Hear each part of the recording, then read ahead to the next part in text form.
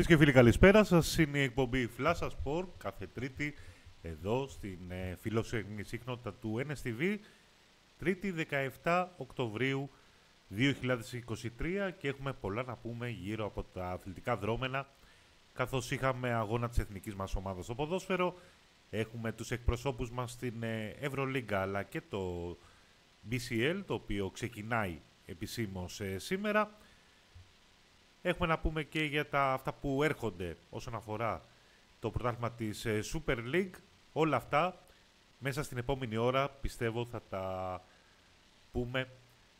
Περιμένω τα μηνύματά σας όπως πάντα στην ε, προσωπική μου σελίδα στο Facebook, Χρήστος Γεωργίου, προκειμένου να αναλύσουμε κάποια θέματα τα οποία βρίσκονται στα ψηλά στην επικαιρότητα. Πάμε εμείς να ακούσουμε ένα κομματάκι και επιστρέφουμε για την ε, ζωντανή μας εκπομπή.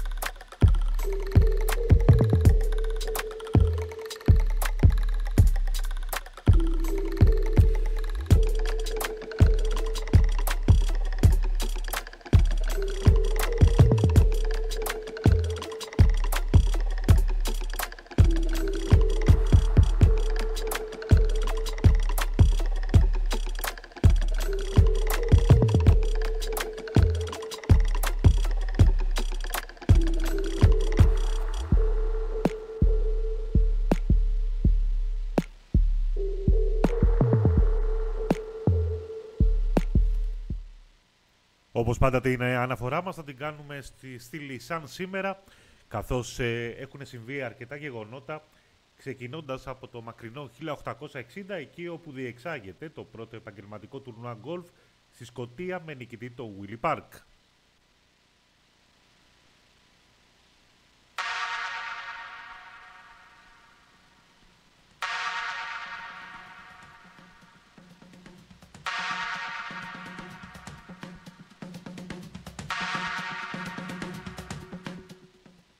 Το 1948 εγκαινιάζεται το γήπεδο της Ριζούπολης μπροστά σε 10.000 φιλάθλους με τιμητικό αγώνα ανάμεσα στη μεικτή ομάδα των προσφυγικών σωματείων Απόλλων Πανιωνίος και ΑΕΚ και των γηγενών Παναθηναϊκού και Ολυμπιακού.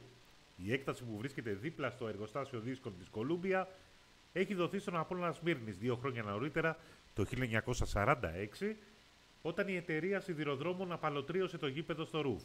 Σταδιακά το γήπεδο θα αποκτήσει χωρητικότητα 14.200 θέσεων και θα ονομαστεί Γιώργος Καμάρας στη μνήμη ενός από τους κορυφαίους παίκτες της ομάδας.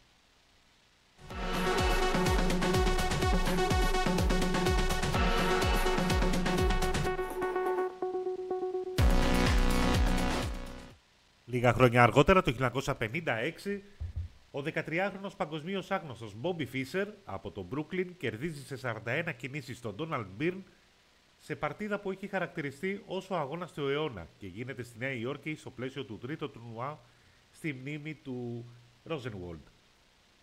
Ο νεαρός που υποχρεώνει τους πάντες να αναλύσουν πολλές φορές την παρτίδα δείχνει με μία θυσία της Βασίλισσας στη 17η κίνηση ότι έχει τον τζαμπουκά αλλά και το ταλέντο που θα τον οδηγήσουν στον παγκόσμιο τίτλο σε 16 χρόνια.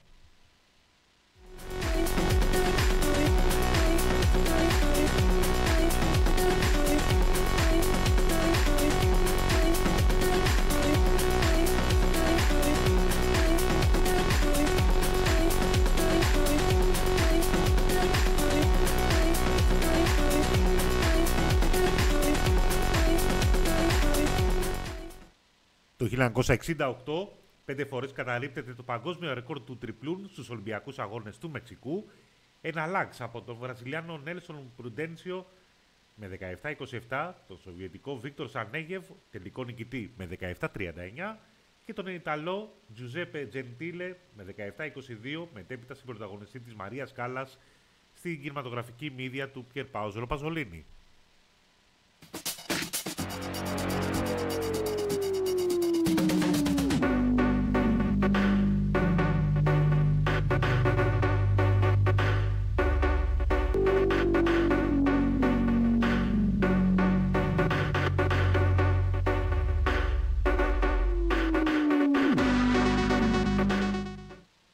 Δέκα χρόνια αργότερα, το 1978, ολοκληρώνει το κύκλο των αγώνων για τον παγκόσμιο τίτλο στο σκάκι, στο Μπάγκιο των Φιλιππίνων. Ο Σοβιετικός Ανατόλη Καρπόφ νικά με 6-5 και 21 ισοπαλίες τον επίσης Σοβιετικό Βίκτορ Κορκνόη, διατηρώντας τον τίτλο του παγκόσμιου πρωταλητή που του έχει απονεμηθεί από τις 3 Απριλίου 1975 ανεφαγόνος λόγω μη εμφάνισης του Μπόμπι Φίσερ.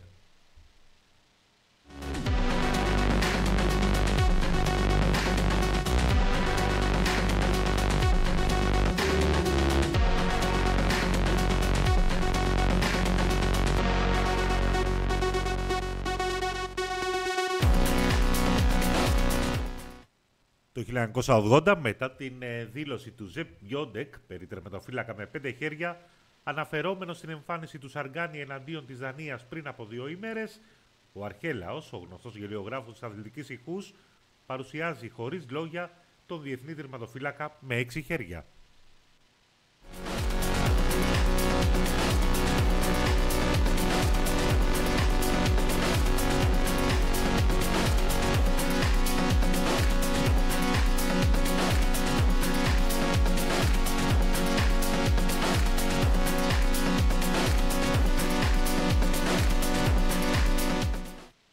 Το 1991 ο Άγγελ Κορντέρο γίνεται ο τρίτος τζόκεϊ που κερδίζει 7.000 υποδρομίες.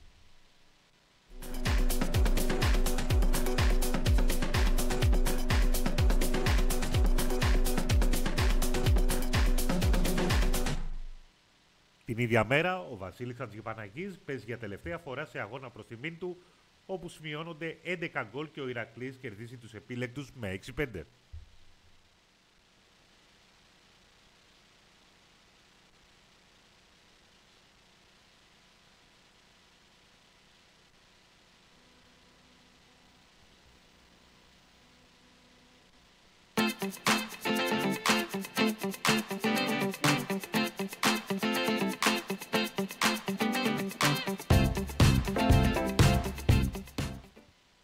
Το 1999 ο Μίκαελ Σουμάχερ κάνει την πρώτη του εμφάνιση μετά τον τραυματισμό του από τις 11 Ιουλίου στο Silverstone της Αγγλίας, στο Grand Prix της Μαλαισίας, με νικητή τον Έντι Ιρβάιν, ο οποίος οδηγεί Ferrari, και δεύτερο τον Μίκα Χάκινεν με McLaren Mercedes. Δύο ώρες μετά τον τερματισμό, η ομάδα της Ferrari θα τιμωρηθεί λόγω κακής χρήσης των διαστάσεων των αεροτομών, με αποτέλεσμα ο Χάκινεν να ανακηρυθεί παγκόσμιος πρωταλητής. Η Ferrari θα κάνει ένσταση στις 22 Οκτωβρίου και στις 23 του ίδιου μήνα θα την κερδίσει. Έτσι η Ferrari και ο Irvine θα πάρουν την πρώτη θέση.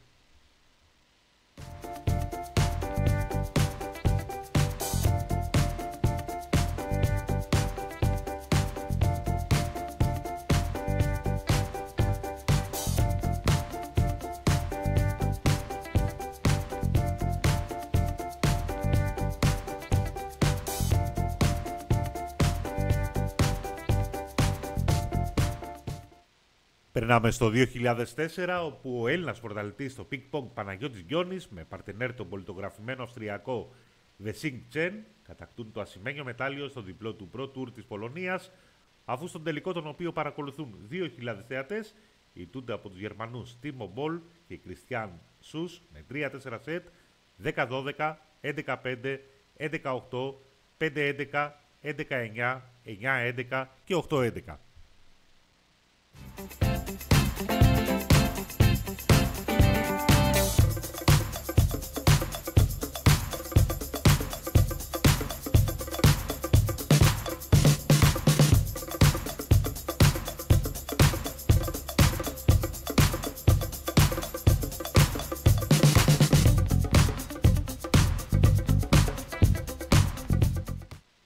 Τέλος, το 2022, ο 34χρονος ε, επιθετικός Καρύμ Μπενζεμά, μετά από την κατάκτηση του Champions League, πρώτο σκόρερ με 15 γκολ σε 12 αγώνες, και της La Liga, πρώτο σκόρερ με 27 γκολ σε 32 αγώνες με τη Real, κατακτά για πρώτη φορά στην καριέρα του τη χρυσή μπάλα στην τελετή που διεξάγεται στο Theatre de Salé του Παρισιού και γίνεται μόλις ο πέμπτος Γάλλος μετά τους Ραϊμόν Κοπά το 1958 Μισελ Πλατινί 1983, 84 και 85, Ζάμκερ Παπέν 1991 και Ζινεντίν Ζιντάν 1998 και ο 8ος παίκτης της Ρεάλ μετά τους Αλφρέδο Ντι Στέφανο, Ραϊμόν Κοπά, Ρονάλντο, Λουίς Φίγκο, Φάμπιο Καναβάρο, Κριστιανό Ρονάλντο, Λούκα Μόντριτς που κερδίζει αυτή τη διάκριση.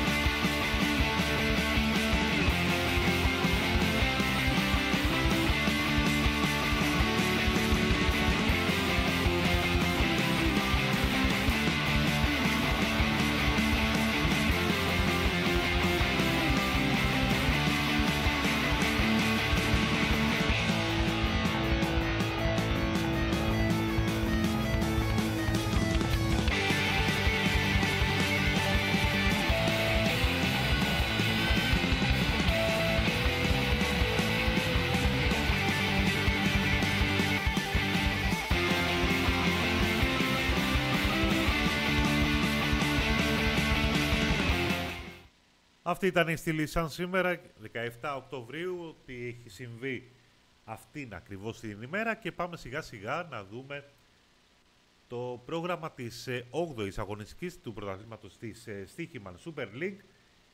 Ένα πρωτάθλημα το οποίο ξεκινά μετά τη διακοπή λόγω των ε, δημοτικών εκλογών αλλά και των υποχρεώσεων της εθνικής μας ομάδας. Μια εθνική ομάδα την οποία θα αναλύσουμε στη συνέχεια το τι έκανε στα παιχνίδια της απέναντι σε Ιρλανδία και Ολλανδία. Έχουμε λοιπόν την Παρασκευή να ανοίγει η αυλαία με την αναμέτρηση της Λαμίας με τον Μπάζ Γιάννενα στις 8.30. Το Σάββατο στις 5.30 θα παίξει ο Πανετολικός με τον Βόλο. Στις 8 ο Πανσεραϊκός με τον Άρη. Την Κυριακή στις 4 Αστέρας Τρίπολης ΑΕΚ και η Φυσιά Όφη. Στις 6.30 πάω Κατρόμητος και στις 7.30 δεσπόζει το μεγάλο ντέρμπι των αιωνίων Ολυμπιακός εναντίον Παναθηναϊκού.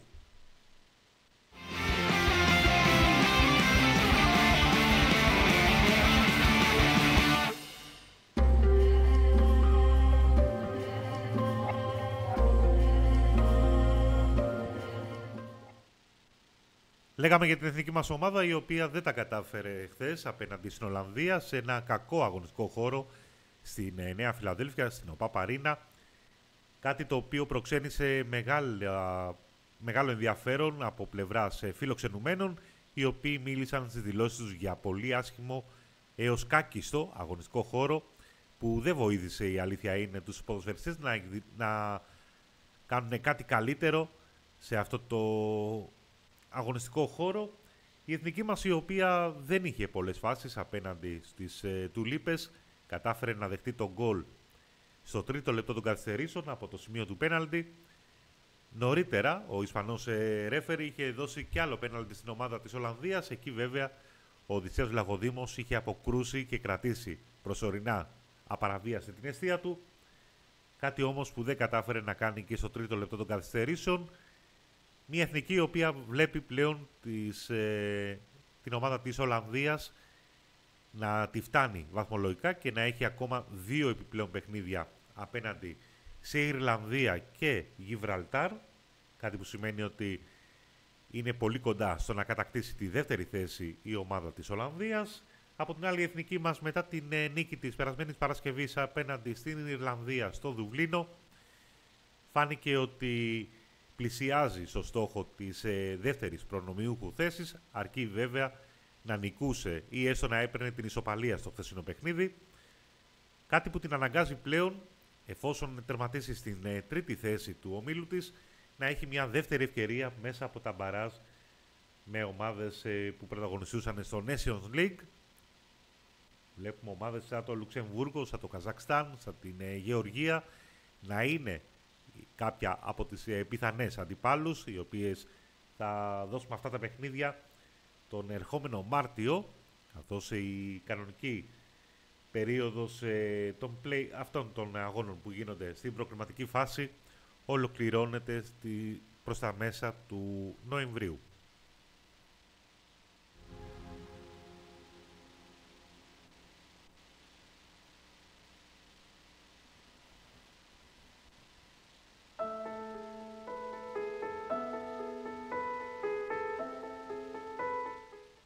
Πάμε όμως να δούμε σιγά σιγά πώς εξελίχθηκαν ε, τα παιχνίδια αυτές τις μέρες, καθώς είχαμε έντονη αγωνιστική δραστηριότητα από την ε, περασμένη Πέμπτη και ολοκληρώνεται σήμερα. Είχαμε λοιπόν την Πέμπτη για τον πρώτο όμιλο Ισπανία-Σκοτία 2-0 και Κύπρος-Νορβηγία 0-4 με τον Έργιν Χάλαντ να σκοράρει δύο φορές απέναντι στην ε, ομάδα της Κύπρου.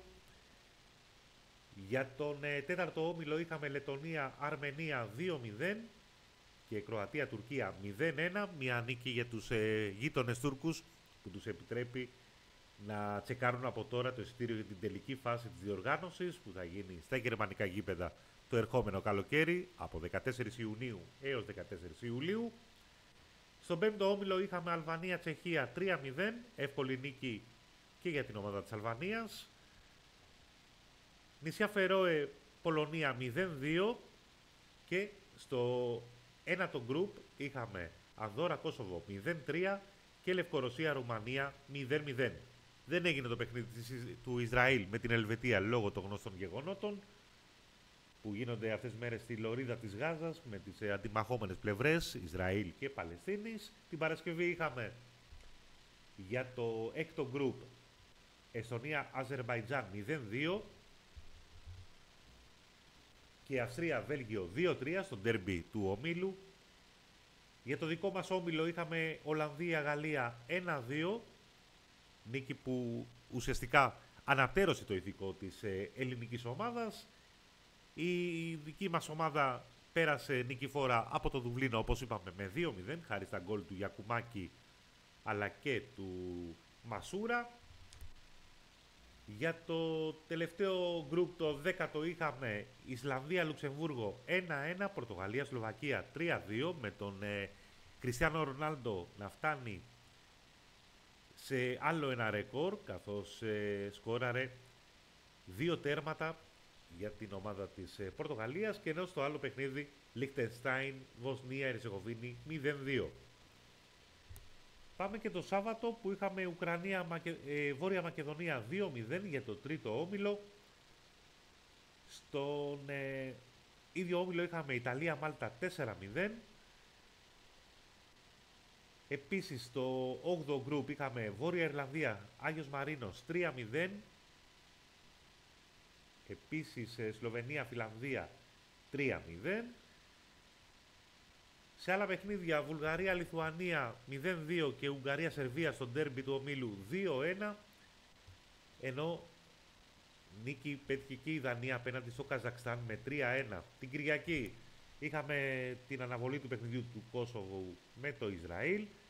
Στα άλλα παιχνίδια είχαμε Γεωργία Κύπρος 4-0, Τσεχία νησιά Φερόε 1-0, Ελβετία Λευκορωσία 3-3 σε ένα πολύ χορταστικό παιχνίδι. Οι Λευκορώσοι οι οποίοι βρέθηκαν να προηγούνται μέχρι και 3-1 στα τελευταία περίπου 10 λεπτά του παιχνιδιού. Ωστόσο οι Ελβετοί κατάφεραν να φέρουν το μάτσα ίσα και να αποκτήσουν ένα σημαντικό βαθμό εν ώψη της συνέχειας.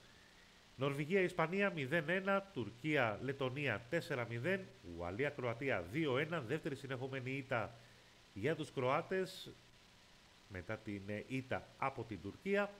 Πολωνία-Μολδαβία 1-1 και Ρουμανία-Ανδόρα 4-0.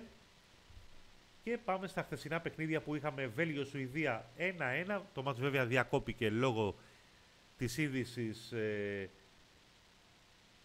ενός περιστατικού που έγινε μακριά από το γήπεδο και αφορούσε δύο Σουηδούς νεκρούς από πυρά τζικαντιστή στους δρόμους των ε, Βρυξελών.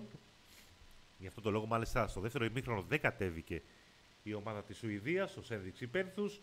Αζερμπαϊτζάν-Αυστρία 0-1, Ελλάδα-Ολλανδία όπως είπαμε 0-1, Γιβραλτάρ Ιρλανδία 0-4, Ισλανδία-Λιχτεστάιν 4-0, Βοσνία Ερσεγοβίνη, Πορτογαλία 0-5 και Λουξεμβούργο, Σλοβακία 0-1. Τα σημερινά παιχνίδια τα οποία κάποια βρίσκονται σε εξέλιξη, όπως αυτό της Φιλανδίας με το Καζακστάν, είναι στο 20 λεπτό και είναι στο 0-0. Στα άλλα παιχνίδια της βραδιάς ξεχωρίζει η αναμέτρηση του τρίτου γκρουπ ανάμεσα στην Αγγλία και την Ιταλία στις 10 παρατέταρτο. Την ίδια ώρα θα παίξουν Μάλτα, Ουκρανία, Σερβία, Μαυροβούνιο, Λιθουανία, Ουγγαρία, Βόρεια Ιρλανδία, Σλοβενία και Άγιος Μαρίνος εναντίον ε, Δανίας. Το ματς του Ισραήλ με την, ε, με την Ελβετία συγγνώμη, έχει μετατεθεί για τις 15 του Νοέμβρη και πάμε να δούμε τις ε, βαθμολογίες όπως έχουν διαμορφωθεί σε αυτό το χρονικό σημείο. Ξεκινάμε από το πρώτο γκρουπ, εκεί όπου ήδη η Ισπανία έχει πάρει την ε, πρόκριση για τα τελικά της ε, διοργάνωσης. Θα σας πω ακριβώς και την βαθμολογία που έχει το πρώτο γκρουπ πρώτος όμιλος. Έχουμε ένα μικρό θεματάκι με, την, ε, με το ίντερνετ. Παρ' όλα αυτά, θα κοιτάξουμε να το αποκαταστήσουμε. Α, επανήλθε. Έχουμε λοιπόν Ισπανία και Σκοτία να μοιράζονται από 15 βαθμούς και να έχουν ξεκαθαρίσει την ε, κατάσταση σε αυτό το πρώτο όμιλο. Ακολουθεί η Νορβηγία με 10, 7 για τη Γεωργία και χωρίς βαθμό είναι η Κύπρος. Στο δεύτερο όμιλο, τον όμιλο της εθνικής μας, η Γαλλία είναι μόνη πρώτη, έχοντας το απόλυτο με 18 βαθμούς. Ακολουθεί Ολλανδία και Ελλάδα με 12 βαθμούς. Στους 6 είναι η Ιρλανδία και χωρίς βαθμό είναι το Γιβραλτάρ. Τρίτος όμιλος, Αγγλία 13, Ιταλία 10, όσους έχει και η Ουκρανία. Βόρεια Μακεδονία έχει 7, χωρίς βαθμό η Μάλτα. Το τέταρτο όμιλο, Τουρκία έχει 16 βαθμούς, έχει εξασφαλίσει ήδη την πρόκριση για την, επόμενη, για την τελική φάση της διοργάνωσης. Η Ουαλία και η Κροατία θα μονομαχήσουν για μία θέση, καθώς έχουν από 10 βαθμούς. Η Αρμενία έχει 7 και τελευταία η Λετωνία με 3.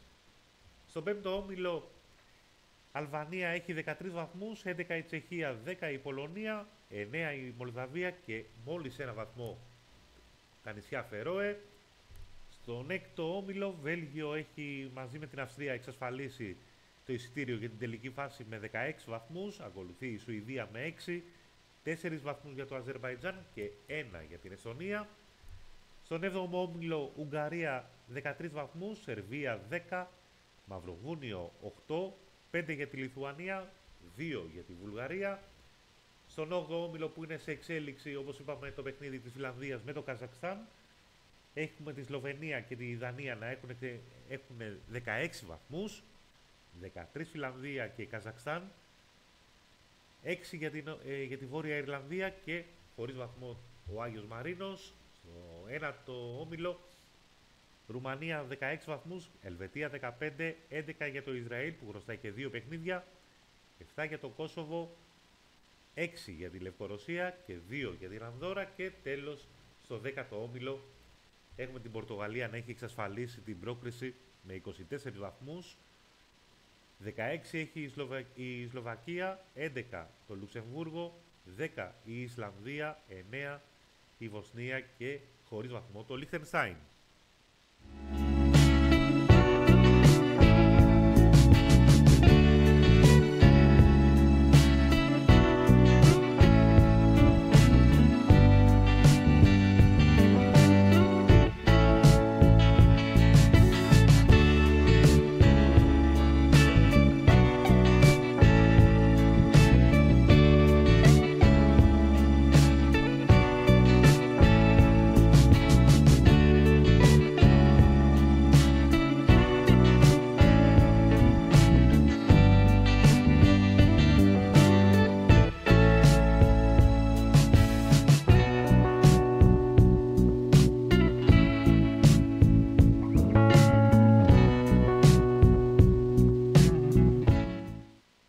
Στον χώρο του πεδοσφαίρου καθώς ε, επικρατεί χαμός στη γειτονική Ιταλία με τα θέματα του στοιχηματισμού που έχουν εμπλέξει αρκετές ομάδες αλλά και αρκετούς ποδοσφαιριστές είτε που αγωνίζονται στο Ιταλικό πρωτάθλημα είτε εκτός συνόρων. Και μάλιστα όπως έγινε γνωστό πριν από λίγη ώρα ο Νικολό Φαντζόλη, ένας παίκτης της ε, Juventus ο οποίος συνεργάστηκε με τις αρχές μετά από την αποκάλυψη για εμπλοκή του στο σκάνδαλο στοιχηματισμού αναμένεται να τιμωρηθεί με 7 μήνες αποκλεισμό από όλα τα γήπεδα για αυτή την ε, πράξη του.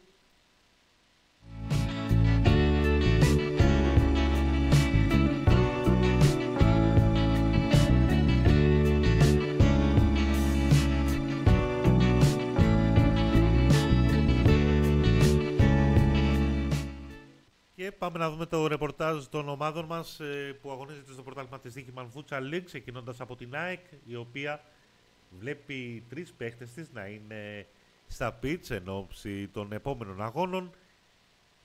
Ήδη παραμένουν εκτός ε, οι τραυματίες Στίβεν Τσούμπερ και Λιβάη Γκαρσία λόγω των γνωστών τραυματισμών που έχουν.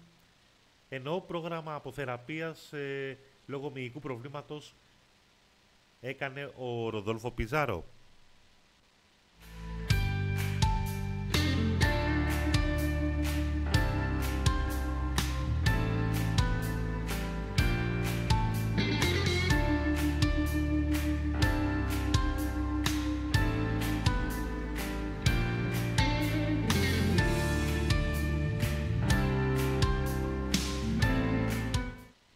Στο στρατόπεδο του Ολυμπιακού ήδη έχει ξεκινήσει η διάθεση των εισιτηρίων για το Κυριακάτικο ντέρμπι απέναντι στον ε, Παναθηναϊκό και όλα δείχνουν ότι θα πάει σε sold out αυτή η αναμέτρηση καθώς αρκετές σιγουρές υπήρχαν έξω από το φαλερικό στάδιο προκειμένου ο κόσμος να πάρει το μαγικό χαρτάκι όπως ε, συνηθίζεται να λέγεται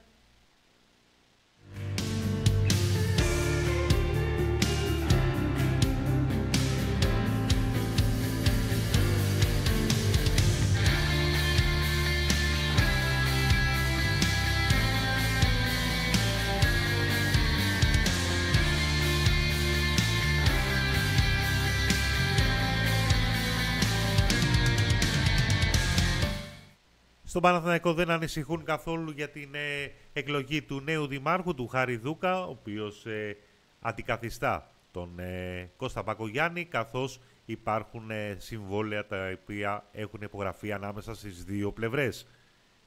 Οπότε σιγά σιγά πρέπει να αναμένουμε πότε θα μπουν και επίσημα οι μπουλντόζες στο γήπεδο του Βοτανικού για να ξεκινήσουν τα έργα, έτσι ώστε αν τηρηθούν τα χρονοδιαγράμματα να φτάσουμε στο τέλος του 2026 όταν και αναμένεται να μπει στο νέο του σπίτι ο Παναθηναϊκός.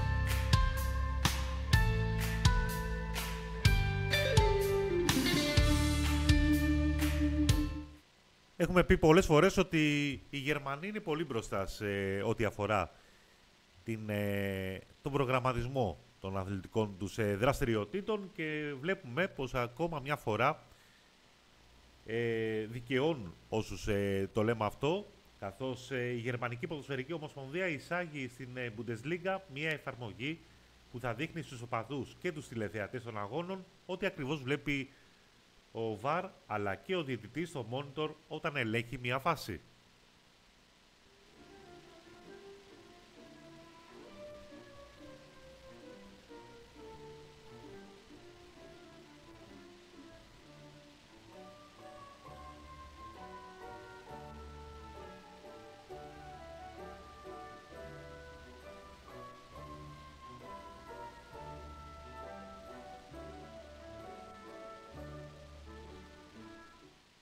Μπορεί να απομένουν ακόμα γύρω στις δύο εβδομάδες μέχρι να μάθουμε τον ε, νικητή της ε, φετινής διοργάνωσης της ε, Χρυσής Μπάλας.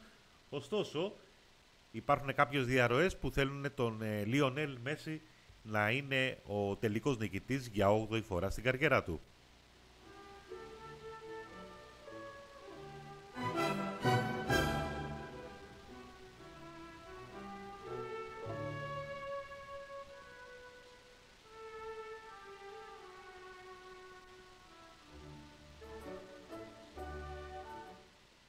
Σε αυτό το σημείο όμως ε, θα περάσουμε σε ένα λιγόλεπτο διάλειμμα και επιστρέφουμε για το δεύτερο μέρος εκπομπής που θα ασχοληθούμε περισσότερο με μπάσκετ.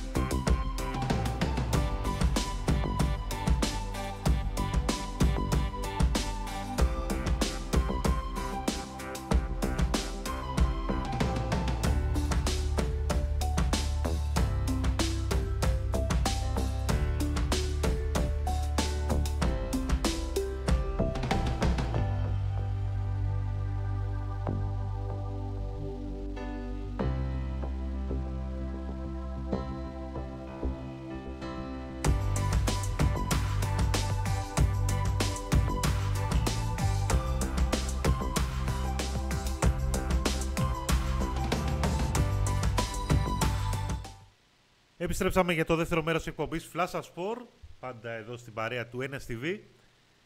Και από το χώρο του ποδοσφαίρου περνάμε στο χώρο του μπάσκετ, καθώς είχαμε δραστηριότητα το Σαββατοκύριακο που πέρασε στο πρωτάθλημα της ε, Basket League, εκεί όπου είχαμε τα αποτελέσματα από όλων πατρών Κάρνα Άρης Μίντεα 70-77, Μαρούση Πάουκ Ματέκο 75-80, Περιστέρι Big Win Παναθηναϊκός 64-66, Προμηθέας Καρδίτσα Ιαπωνική 87-75, Ολυμπιακός ΑΕΚ 79-71 και Λαύριο Κολοσσός εχθές 79-76. Η επόμενη αγωνιστική, πρωτού περάσουμε στη βαθμολογία, έχει το Σάββατο στις 5 ε, και 4 ΠΑΟΚ εναντίον Περιστέρη, στις 8 και 4 ΑΕΚ Απόλλω Πατρών, την Κυριακή στις 5 και 4 Κολοσσός Ολυμπιακός, στις 8 και 4 Άρης Καρδίτσα και τη Δευτέρα θα κλείσει αγωνιστική με δύο αναμετρήσεις στις 5 και 4 Προμηθέας Μαρούση και στις 8 και 4 Παναθηναϊκός Λαύριο.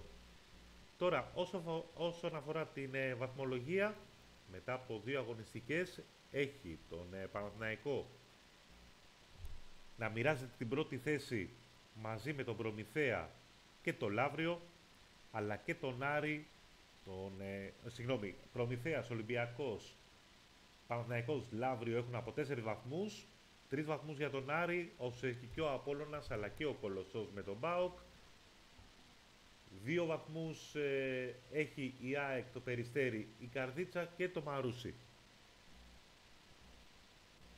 Αυτά όσον αφορά το πρωτάθλημα της ε, Basket League. Πάμε και στα πρωταθλήματα της ε, Ελληνικής Ομοσπονδίας.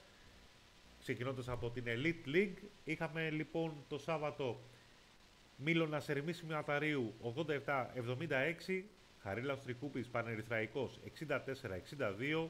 Έας Σεβόσμου Μεγαρίδα 83-78, Ηρακλής Παπάγου 75-67, Έσπερος Λαμίας Μύκονος 63-69, Ελευθερούπολη Δόξα Λευκάδας 90-76, Ψυχικό Πανιόνιος 80-97 και Κόρυβος Αμαλιάδας Αμίντας 85-66. Να πούμε ότι υπάρχει αγωνιστική αύριο Τετάρτη στις ε, 4 η ώρα η Μεγαρίδα θα υποδεχτεί τον Ηρακλή. Στις 4.30 υπάρχει η αναμέτρηση του Ερμή Σχηματαρίου με τον Χαρίλα Τρικούπη.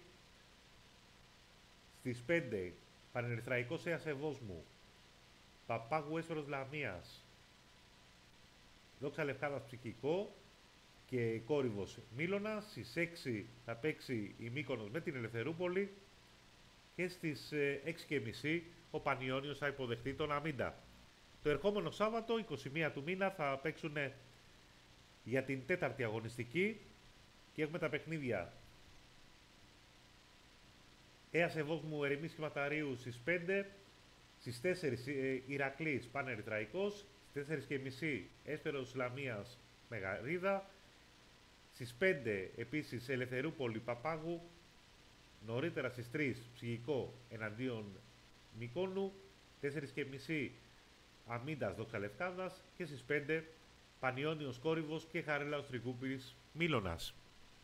Στη βαθμολογία έχουμε τον ε, Κόρυβο να έχει 4 βαθμούς όσους έχει και η Ελευθερούπολη στους 3 βαθμούς είναι Παπάγου, Μεγαρίδα, Πανεθραϊκός, Έας Ευόσμου, Χαρίλαος Τρικούπης, Ηρακλής, Μήλωνας, Έσπερος Λαμίας, Πανιόνιος και Αμίντας και στις τρεις τελευταίες θέσεις με 2 βαθμούς είναι ο Ερμής Ματαρίου, ε, το ψυχικό και η Δόξα Λευκάδας. People like us, like-minded people.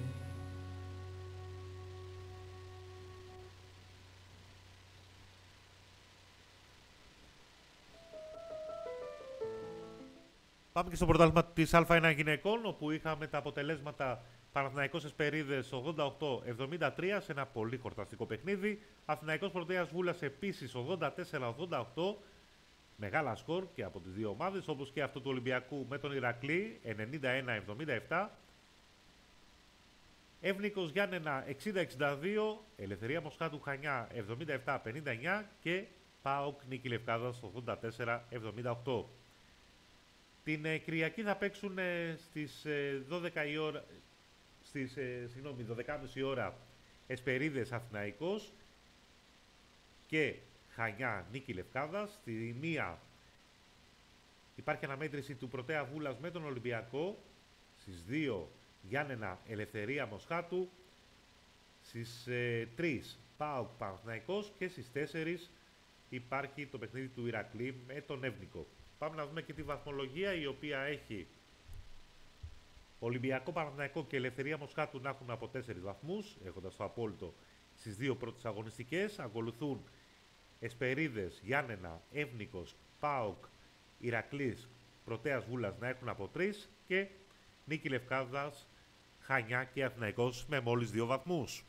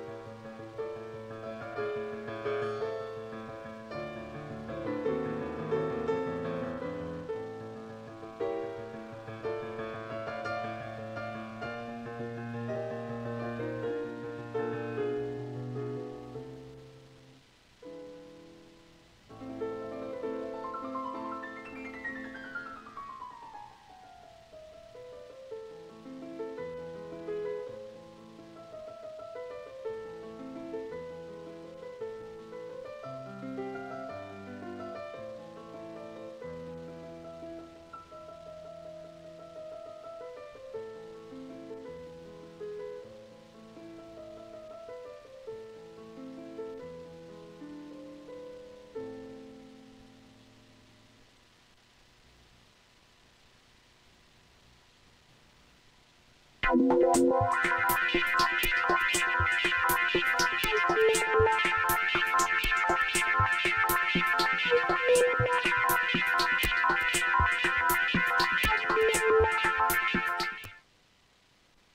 πρώτη διαβολοβδομάδα της ε, EuroLeague είναι γεγονός ε, απόψε, αύριο, την Πέμπτη και την Παρασκευή με τη, με τη, με τη διεξαγωγή της Τρίτης και Τέταρτης αγωνιστικής.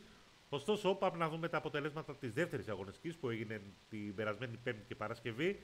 Είχαμε λοιπόν ε, Ανατολού Εφές Ρεάλ 80-103, Άλμπα Βερολίνου Μπασκόνια 86-91, Βιλερμπάν Παρτιζάν 62 88, Παναθηναϊκός Μπάγκερ Μονάχου 78-71, Μονακό Βίρτους Μπολόνια 59-83, Ζαλγκύρης Κάουνας Ερυθρός Αστέρας 79-74, Ολυμπιακός Μπαρτσελώνα 68-77 και Βαλένθια Φενέρ Μπαξέ 77-74. Να πούμε ότι το μάτς που είχε αναβληθεί μεταξύ της Αρμάνι Μιλάνο με τη Μακάμπη Τελαβίβ θα γίνει στις 31 Οκτωβρίου στις 9.30 σε μια ημερομηνία που βολεύει και τις δύο ομάδες όπως ε, ανακοινώθηκε από τη διοργανώτρια αρχή. Πάμε να δούμε και το σημερινό πρόγραμμα το οποίο περιλαμβάνει τις αναμετρήσεις της ε, Παρτιζάν με την Παρτσελώνα το οποίο βρίσκεται σε εξέλιξη. Προηγείται 10-19 η ομάδα της ε, Καταλωνίας. Στις 8 και 4 θα παίξουν οι Φενέρμπαχτσε με τον Παναθηναϊκό. Στις 8 και μισή Ανατολού Εφές Βιλερμπάν. 9.30 Μπασκόνια Μπάγκερ Μονάχου και στις 10 παρατέταρτο Ρεάλ Ζαλγκύρης και Αρμάνι Ολυμπιακός. Αύριο έχουμε στις 9 η ώρα Ερυθρός Αστέρας Μονακό και στις 9.30 Βίρτους Μπολόνια, Άλμπα Βερολίνου και Βαλένθια Μακάμπι Τελαβίβ και την, ε, η επόμενη αγωνιστική είναι την ε, Πέμπτη και την Παρασκευή όπως είπαμε που περιλαμβάνει τα μάτια στις, 8 παρατε... στις 9 παρατέταρτο. Φενέρ Μπαξέ Βίλερμπαν στις 9 και 4 Ολυμπιακός Παρτιζάν 9 και μισή Μπασκόνια Ζαλγκύρης Κάουνας και στις 10 παρατέταρτο Ρεάλ Αρμάνι Μίλανο την Παρασκευή στις 8 Μονακό Άλμπα Βερολίνου 8 και μισή Ανατολού Εφές Βαλένθια 9 και 4 Παναθηναϊκός Μακάμπι Τελαβίβ 9 και μισή Μπαρτσελώνα εναντίον Μπάγκερ Μονάχου και την ίδια ώρα Βίρτους Μπολόνια εναντίον Ερυθρού Αστέρα.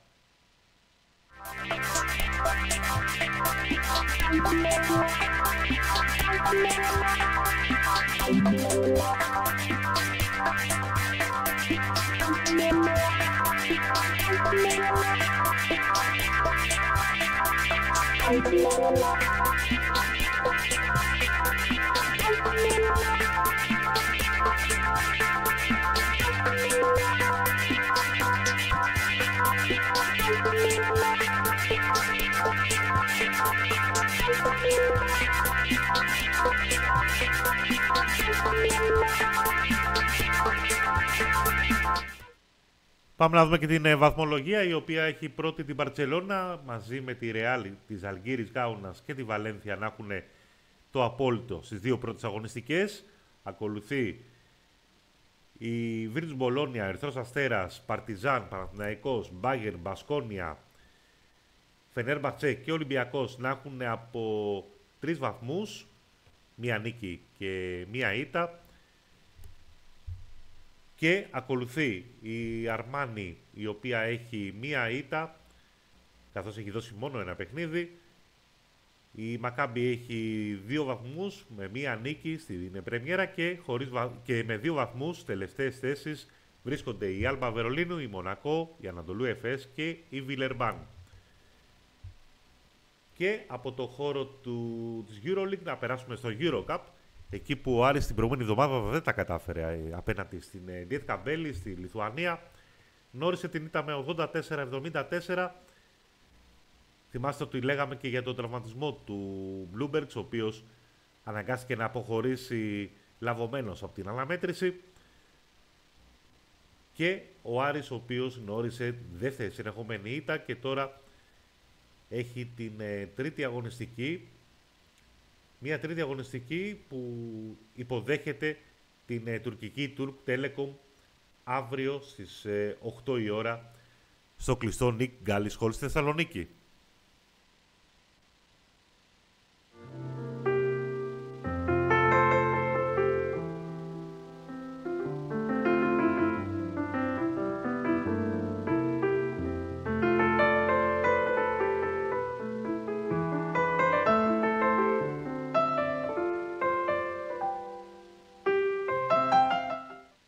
Το Euro Cup των ανδρών να περάσουμε στο Euro Cup των γυναικών, εκεί όπου έχουμε τη συμμετοχή των ελληνικών ομάδων. Για τον πρώτο όμιλο είχαμε την προηγούμενη εβδομάδα την ε, ήττα της Ελευθερίας Μοσχάτου με το βαρύ 108-42 από την ε, Flames Καρολο Μπάσκετ, την ε, ισπανική ομάδα. Μια βαριά ήττα για την ελληνική ομάδα η οποία Αύριο υποδέχεται σε 7.30 την ομάδα της ε, Ζαμπίρνη Μπρό από την ε, Τσεχία με στόχο φυσικά να κάνει την ε, πρώτη της νίκη επί της ευρωπαϊκής αυτής ε, διοργάνωσης. Ένα Eurocup το οποίο μετέχουν ακόμα ο Παναθηναϊκός και ο Ολυμπιακός. Θα σας πω μάλιστα ότι ο Ολυμπιακός αυτή τη στιγμή βρίσκεται πίσω στο σκορ απέναντι στην ε, δεύτερη ομάδα που δίνει παιχνίδι. Θα σας πω ακριβώς ε, πώς έχει η κατάσταση. Είπαμε για την ομάδα της ε, Ελευθερίας Μοσχάτου. Πάμε να δούμε και το παιχνίδι που έδωσε ο Παναθηναϊκός στο Βέλγιο απέναντι στην Μαλίν και νίξε με 87-91 στην παράταση μετά από την κανονική διάρκεια 74-74 με κορυφαία την ε, Jasmine Jones. Ένας Παναθηναϊκός ο οποίος ταξιδεύει για να αντιμετωπίσει στην ε, Σλοβακία την Μπάνσκα Μπίστριτσα αύριο στις 7 η ώρα. Αυτό το παιχνίδι για την ομάδα του Παναθηναϊκού που μετέχει στον 5ο ε, όμιλο. Και πάμε να δούμε και τον όμιλο του Ολυμπιακού, ο οποίος ητάται από την Ρήγα αυτή τη στιγμή στο στάδιο ειρήνης και φιλίας. Ένας Ολυμπιακός ο οποίος δεν ξεκίνησε καλά την ε, διοργάνωση. Μάλλον ακριβώς αντίθετο συνέβη. Νίξε εκτός έδρας στην ε, Τουρκία την ε, Καϊσέρη με 69-85. Αντίθετα, όπως είπα, δεν έχει ξεκινήσει καλά το παιχνίδι του απέναντι στην ε, Ρήγα από την ε, Λετωνία, καθώς βρίσκεται πίσω στο τρίτο δεκάλεπτο. Και αυτά όσον αφορά το Eurocup ε, των γυναικών. Πάμε όμως να δούμε και το τι γίνεται σε μια διοργάνωση η οποία κάνει πρεμιέρα σήμερα, το Basketball Champions League, με δύο ελληνικές ομάδες να μπαίνουν σήμερα Στον ε, χορό η πρώτη είναι η ΑΕΚ η οποία υποδέχεται αυτή την ώρα την ε, γερμανική Ludwigsburg και μάλιστα βρίσκεται πίσω προς το τέλος του πρώτου δεκαλέπτου με 20-23 ενώ στις 9.30 το Περιστέρι θα αναμετρηθεί εκτός έδρας απέναντι στην ε, Γαλλική Λεμάν. Αύριο υπάρχουν άλλες δύο αναμετρήσεις ελληνικών ομάδων με τον, ε, με το, με τον Μπάουκ και τον ε, Προμηθέα. Ο Προμηθέας ο οποίος θα υποδεχτεί την Οπάβα, ενώ ο Μπάουκ αντίθετα θα σας πω ποιος είναι ο αντίπαλός του. Ένας Πάοκ ο οποίος θέλει να μπει φέτος ε, καλά από την ε, αρχή της ε, διοργάνωσης. Η ΑΕΚ η οποία να θυμίσουμε έχει στον όμιλό της την Σάσαρη από την Ιταλία, την Σέτσιν από την Πολωνία και την Ρίσεν ή αλλιώς Λούτβιτσμπουργκ από τη Γερμανία. Ο Προμηθέας, ο οποίος είπαμε θα παίξει με την Οπάβα, έχει ακόμα την ε, Dijon, τη Γαλλική και την ε, Ρίτας Βίλνιους από την ε, Λιθουανία. Το Περιστέρι που θα παίξει σήμερα με τη Λεμάν έχει ακόμα στον όμιλο την ε, Μάλαγα και την ε, Σομπατέλη από την ε, Ουγγαρία.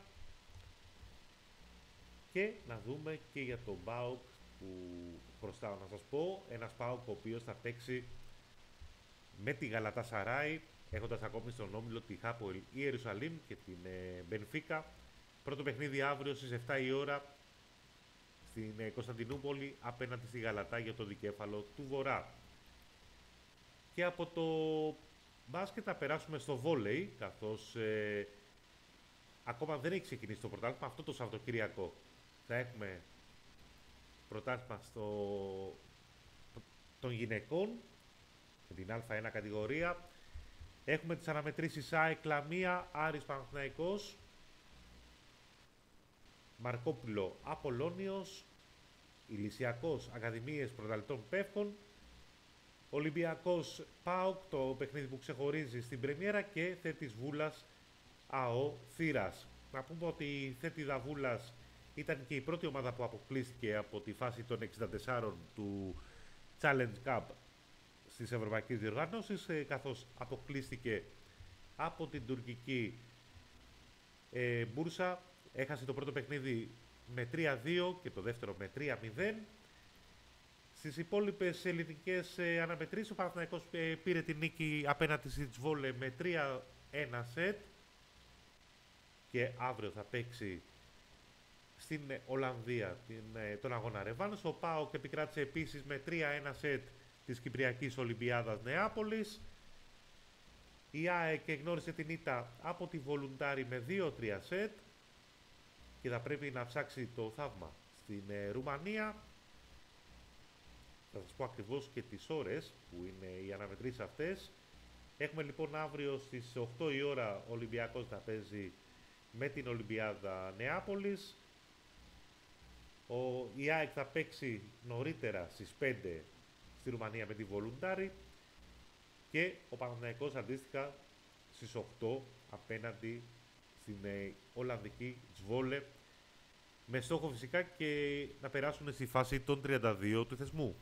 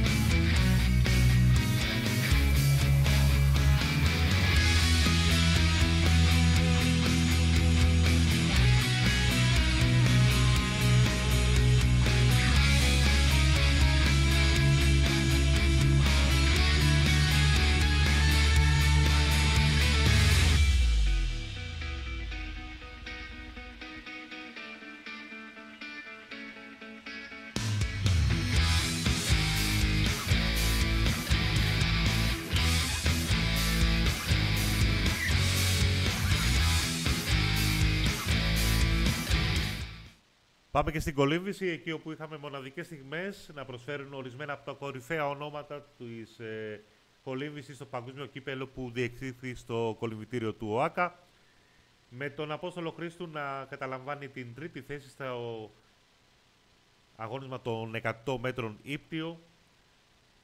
Είχαμε επίσης δύο ρεκόρ αγώνων και εκπληκτική παρουσία από τους Έλληνες φιλάθλους της ε, Κερκίδες, κάτι το οποίο ε, θα λέγαμε συζητήθηκε έντονα από τους αθλητές οι οποίοι πραγματικά ένιωσαν μια ζεστασιά από τους Έλληνες φιλάθλους στο κολυμβητήριο του ΟΑΚΑ. Είχαμε το πρώτο ρεκόρ αγώνων από την εφορμαρισμένη Λάνι Πάλιστερ, την Αυστραλέζα, η οποία τερμάτισε σε 15 λεπτά 55 δεύτερα και 73 εκατοστά στο πρώτο 1500 δεύτερο γυναικών.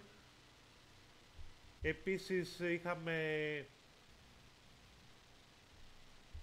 η, τη Σάρα Σέστρεμ, η οποία ε, είδε την ε, Κινέζα Γιούφεϊ Ζάνγκ να τερματίζει στα 100 μέτρα πεταλούδας γυναικών σε χρόνο 56-06, καταρρίπτοντας το 56-46 που είχε η Σέστρεμ.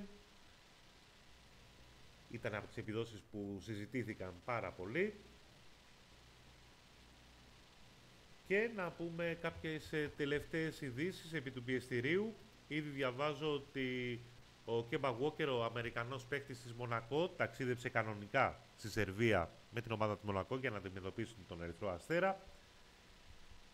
Η ΑΕΚ, ε, λέγαμε στο πρώτο δεκάλεπτο ότι βρισκόταν πίσω από την ε, γερμανική Λούτζβιμπουργκ. Τώρα έχει περάσει μπροστά, έστω και με μια διαφορά ενός πόντου 26-25 στις αρχές του δευτέρου δεκαλέπτου. Το μάτς της ε, Παρτιζάν με την Μπαρτσελώνα έχει πάει στο 18-23, στο 12ο λεπτό, αρχές δηλαδή του δευτέρου δεκαλέπτου. Και να πούμε κάποια ε, ακόμα στοιχεία τα οποία αλλιεύουμε από διάφορα site και να πούμε ότι ο Γιάννης Αντετοκούμπο προσπέρασε τον Λούις Χάμιλτον, τον Κιλιάν Εμπαπέ, τον Βαντζόκοβιτς και τον Κριστιανό Ρονάλντο και είναι ο τέταρτος πιο διαφημισ... διαφημισμένος αθλητής παγκοσμίως.